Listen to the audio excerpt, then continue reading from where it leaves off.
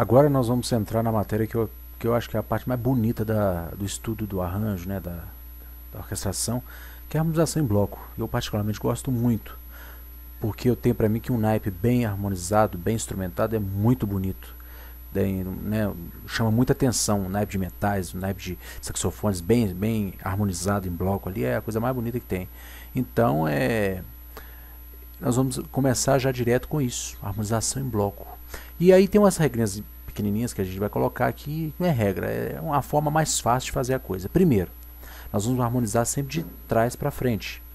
Segundo, sempre nós vamos harmonizar primeiro todas as notas orgânicas, as notas dos acordes, e depois é que nós vamos harmonizar aquelas notas melódicas, ou seja, aquelas que não são do acorde, tá ok? Então eu tenho aqui uma melodia pequenininha que eu escrevi para um trompete, né, vou pôr para tocar aqui só para vocês ouvirem, vamos lá?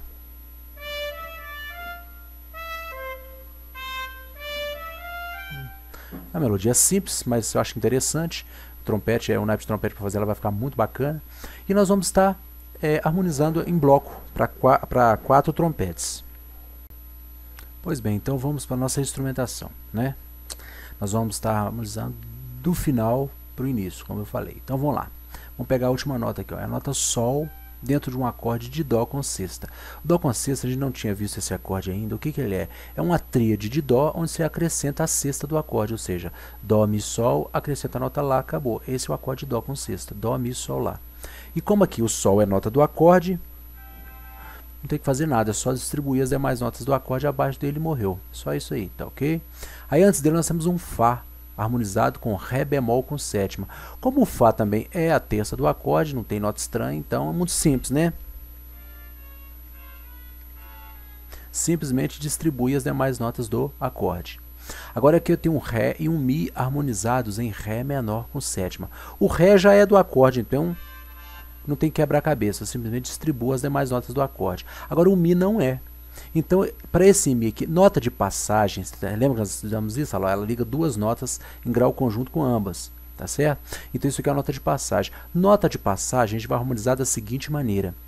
Ou eu harmonizo ela com a dominante do acorde que ela que está sobre ela, né? no caso seria a dominante de Ré menor, que a gente sabe que a dominante do, do, do, do do, daquele acorde é um acorde maior com sétima. Então, a, qual é a dominante de Ré menor com sétima? É o Lá maior com sétima. Esse é o dominante de Lá de Ré menor com sétima.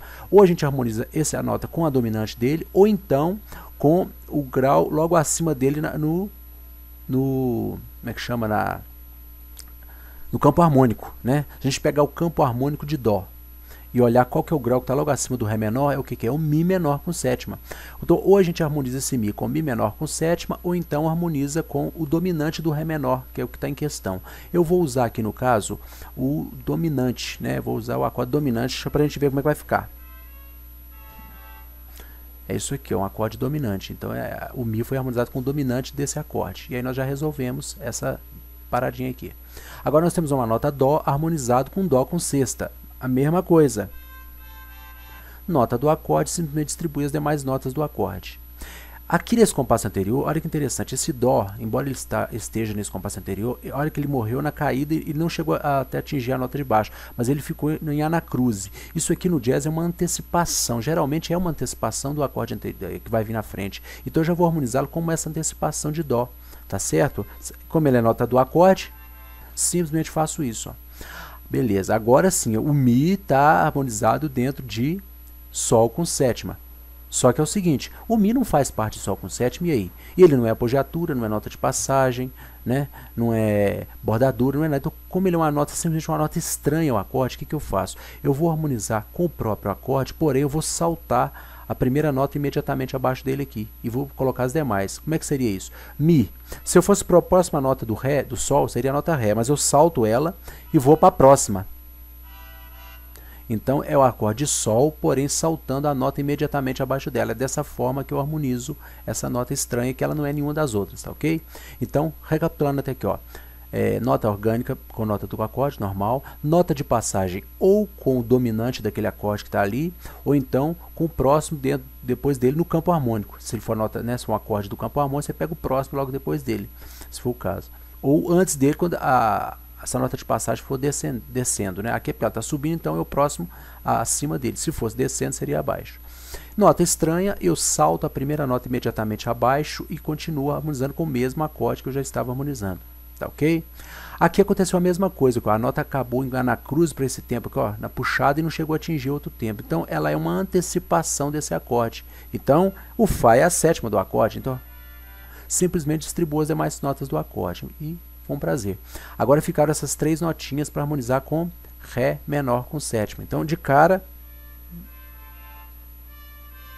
eu já harmonizo as notas que são do acorde com notas do acorde. E ficou esse Mi. Olha que interessante, o Mi o que, que ele é? Bordadura lá, foi e voltou, tá vendo a nota?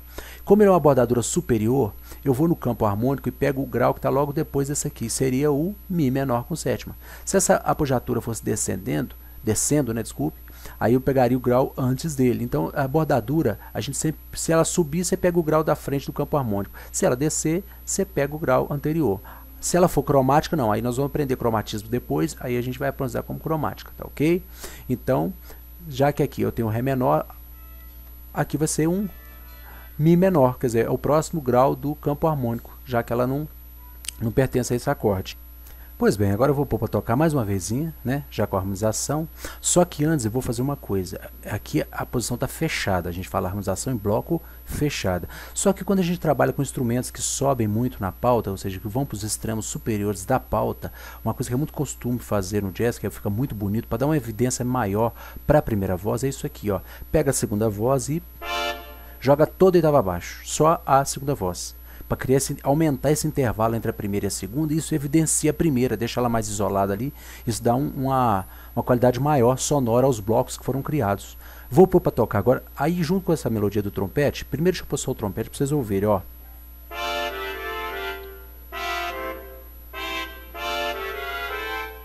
E agora eu vou pôr para tocar de novo, aí vocês vão ouvir ao fundo aí um baixo elétrico e uma bateria, para vocês entenderem isso aí funcionando mais ou menos dentro de uma estrutura de conjunto. Vamos lá?